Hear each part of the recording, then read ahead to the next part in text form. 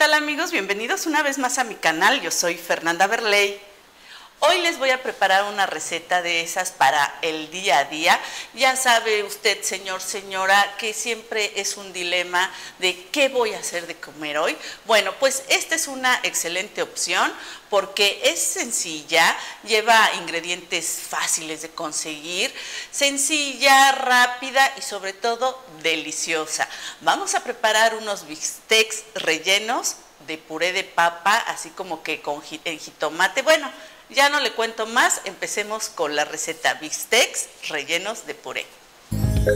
Hoy es un buen día para poder cocinar. Una gran receta de su chef personal. Fernanda de ley. Cocinando para usted. Vamos a empezar con el puré de papa. Fíjense, aquí tengo ya las papas cocidas y hechas puré. Son dos papas medianas que pesan 400 gramos. Y bueno, aquí le vamos a agregar sal. Las papas las cocí sin sal, las pelé y las aplasté con el tenedor. Pimienta, por supuesto. Y aquí en el puré vamos a añadir apio finamente picado. Esta es una rama de apio pues grandecita. Son digamos unas 3 o 4 cucharadas de apio finamente picado. Y también agregamos una cucharadita de cilantro picadito. Y ya simplemente mezclamos. Y este es el momento ideal para probarlo, para que sientan si requiere más sal o quieren más pimienta y así. Esta receta también la pueden hacer con bistec de puerco, por ejemplo, o con pechuga de pollo así en milanesa. Bueno, pues vamos a salpimentar cada bistec. Lo salpimentamos por los dos lados y ahora colocamos un poco de puré.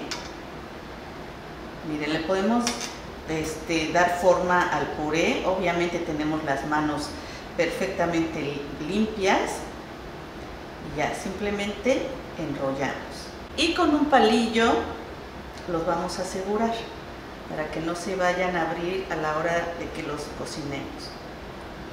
En este sartén ya hay aceite caliente eh, que cubra bien todo el fondo del sartén y vamos a colocar cada rollito de carne con el palillo, o sea, con el cierre hacia abajo.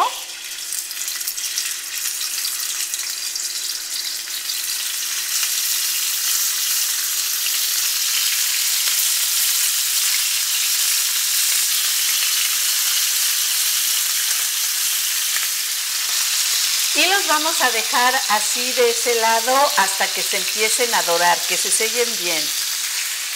Miren, apenas un par de minutitos y los volteamos. Miren qué rico se ve.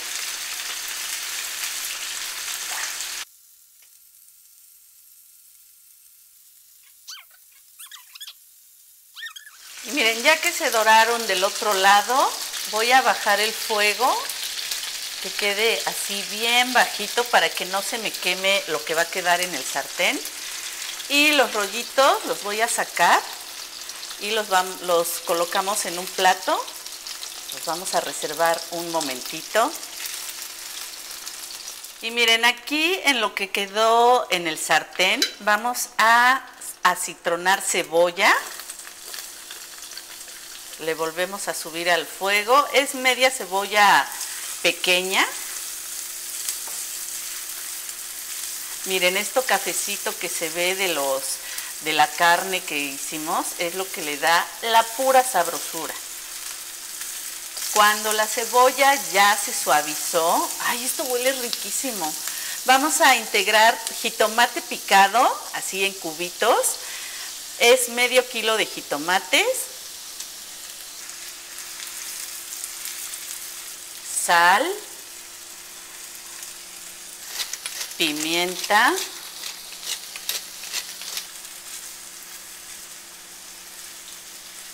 Y ya ven que le pusimos cilantro al puré. Bueno, pues para que todo vaya en armonía, también aquí una cucharadita de cilantro picado. Lo tapamos y bajamos el fuego que quede a fuego medio. Miren, después de unos 5 minutitos más o menos, vean esta ricura. No, esto es delicioso. Así de sencillo como lo ven y que dicen, ay, no tiene tanto chiste. Oigan, esto es riquísimo. Y ahora miren, aquí tengo los rollitos y los vamos a poner en el sartén donde tenemos el jitomate, pero ya les quité el palillo. Este paso es muy importante para que no vaya a ocurrir ningún accidente con el palillo y los colocamos en el sofrito de jitomate igual con el cierre hacia abajo para que no se vayan a abrir.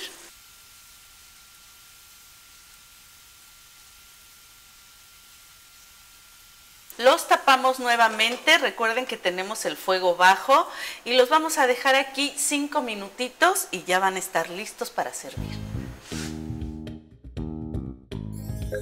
Hoy es un buen día para poder cocinar.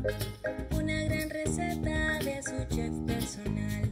Fernanda Verley, cocinando para. Amigos, vamos a probar estos deliciosos rollitos que nos preparó Fernanda, que deben de estar suculentos porque desde que los estaba platicando yo dije, eso yo lo quiero probar. Ah, Oigan, miren, la pinta que tienen en primer lugar, o sea, está buenísimo. Miren cómo se ve el rollito ya así que le cortamos un pedacito. Vean esto. Díganme si no está muy cookies y muy apetitoso y antojable. Y luego con el sofrito de jitomate y todo, o sea, así, así. Y pues ya te lo comes. Oigan, de verdad que está muy bueno. ¿Y sabes qué? El, el, el, el relleno del, del- el relleno del puré, ¿cómo se llama? El, Apio, puré de papa. el apio que le puso Fernanda al puré se siente crujiente, delicioso. Mm. Y le da un sabor extraordinario al puré de papa. O sea, el puré de papa con apio, el apio se siente muy fresco.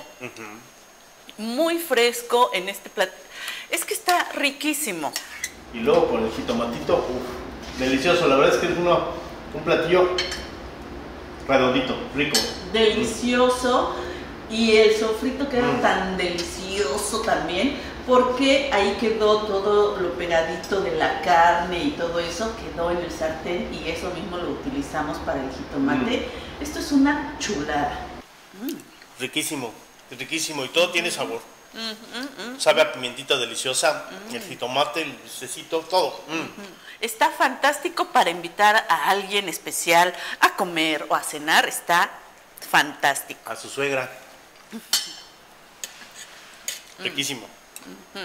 Buenísimo. Oigan amigos, pues una receta más de las buenas, de las especiales de Fernanda Berley. Para quedar bien con la suegra, con el suegro, con el jefe o con, con- con los miembros de la familia, ¿verdad? Para complacer a su A familia. toda la familia. Si les gustó, regálenles un like, suscríbanse, puchen la campanita para que YouTube les avise cuando Fernanda Berley sube un video más. ¿Y qué más, Fernanda? Señor, señora, ¿quiere una comida rápido, fácil, deliciosa, que, que apantalle? Pues, ¿quiere usted apantallar a su familia, al amigo, a la suegra, al jefe? a Estos rollitos de carne son excelentes. Y lo más importante, ya saben ustedes, que el caballero y la dama los esperamos. En el próximo video. Así es.